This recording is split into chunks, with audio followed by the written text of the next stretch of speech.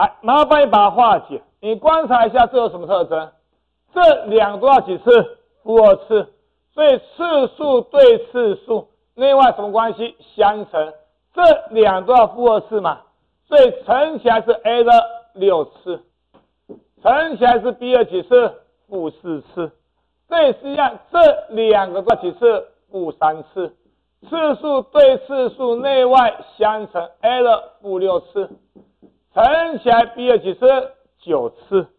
写到这边之后，可不合并？可以。这两都是 a 嘛，哈，相乘次数相加，a 的零次。相乘次数相加 b 的几次？五次。哎，告诉我 a 的零次方是几？一。一乘上 b 的五次方，当然算出来是 b 的几次？五次。OK。